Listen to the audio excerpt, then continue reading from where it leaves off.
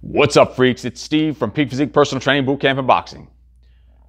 Someone asked me the other day, why, why, do you, why do you work so hard? When is it going to be enough?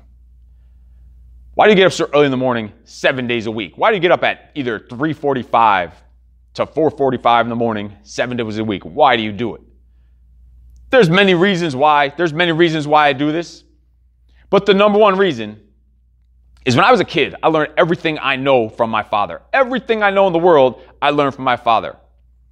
And now you might be thinking, oh, that's such, that's such a great story. That's such an inspiring story.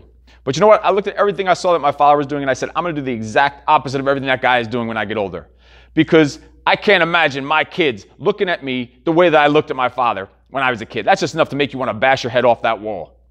So I told myself I'm going to do everything the exact opposite. I'm going to be a role model to my kids. I'm going to teach them what hard work and discipline and doing the right thing and being successful is all about, and responsibility and accountability and having morals. I'm going to teach them all of this in my actions. I'm going to lead by example, like the tip of the freaking spear, showing them exactly how to do it so that they will look at me and I will be something that they want to grow up to be just like.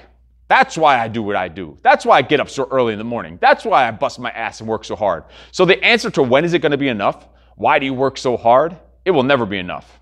And you can never work too hard. That's just some self limiting beliefs of someone trying to hold you back to get to where you, your true potential is and your never ending potential because there's always a chance to get better. Every goal you hit is just a starting point to a next goal. So when am I going to stop? When am I going to stop? Never. No excuses.